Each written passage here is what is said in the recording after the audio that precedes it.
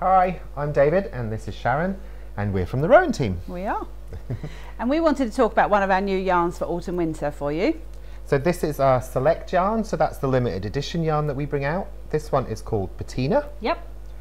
And so when we went to Pitti Filati, which is where the yarn show is held twice a year, yep. Um, it was full of sparkle, wasn't it? There was sparkle everywhere. sparkle trend. and really for Rowan, we didn't want too sparkle and spangly. We wanted something quite subtle and it took us right to it must be last day yeah. wasn't it? We fell, we fell across this one. And um, it's really lovely because the sparkle is sort of built in within the yeah. fibre within the yarn fibre. Yeah it's a very subtle blend through the fibre. It's uh, merino and mohair and then the rest of it is the sparkle that's in it.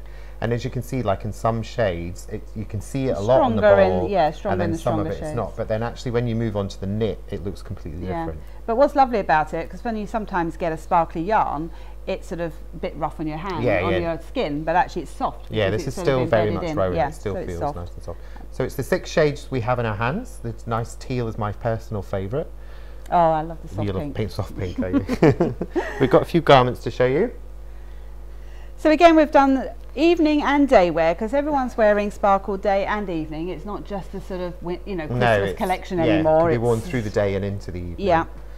So you can see on the garment that Sharon's got is the tealy colour. You can actually see this, you sparkle a bit on this one. But then it's if like you look, pair of sleeves, really. Yeah. so you can just have it as a little shrug. But if you look on this one, it's a lot more subtle. So actually, when you knit it, it it's really a, it's very subtle sparkle in the finished garment. So it's designed by Martin Storey. Yep, all by Martin Storey. And the photography shows day and evening wear. Yeah, it's it? just through the how day. To, how to dress it up. With a little touch of sparkle in there as well, like yeah. sparkly skirts and so forth. Have a little sparkle in your life, that's what I say. yep. Happy knitting.